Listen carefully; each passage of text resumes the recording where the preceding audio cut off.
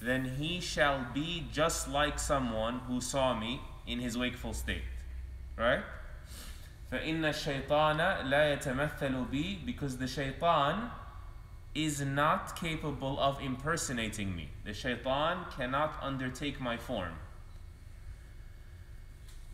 So there's so much that is related to this hadith.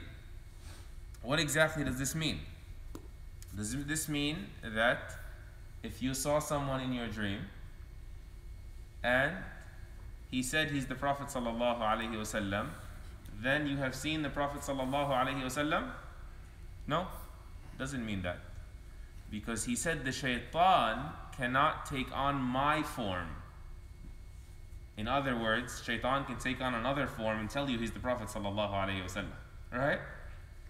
And that is why the Sahaba radiallahu anhum, when someone would come to them and say, I saw the Prophet alayhi salatu wasalam in a dream, they would say, Describe him to me.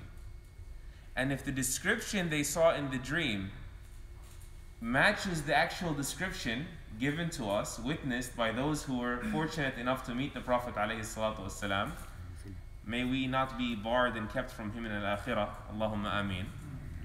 But when it matches the actual description, they say, yes, you have saw him. That's the first thing you want to say. The second thing we want to say is that what does it mean when you have saw the Prophet ﷺ in a dream?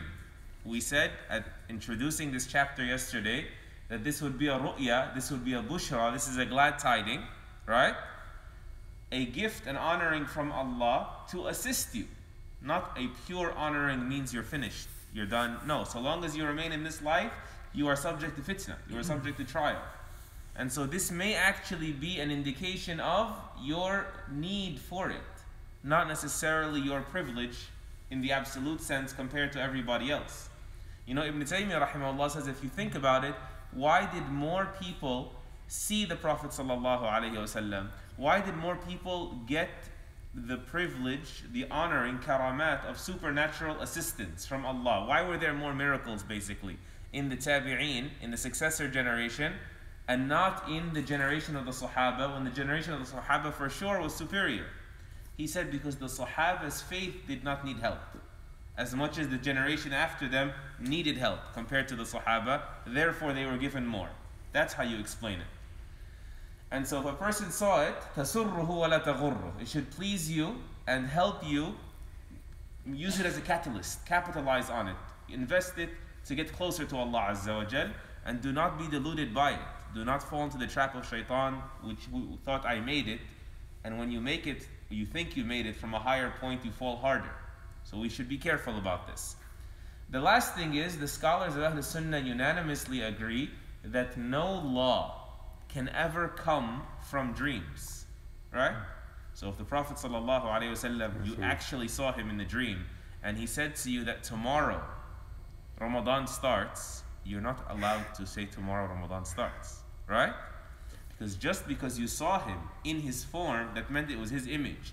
That doesn't mean shaitan cannot cast something in your ear while you saw his actual form to mislead you, right? And so the Sharia has been perfected, the law has been finalized, the Quran and Sunnah are complete and sufficient. That is where we take our laws from, not from dreams. An over dependence on dreams is the definition or one of the definitions of superstition, dogma, meaning baseless beliefs, and a great source of misguidance. So a person should certainly be aware of that. And Allah Azza wa Jalla knows best. Subhanakallahumma bihamdik. Shadu an la ilaha illa ant. Nastaghfiruka wa natubu ilayk. Jazakallahu khairan.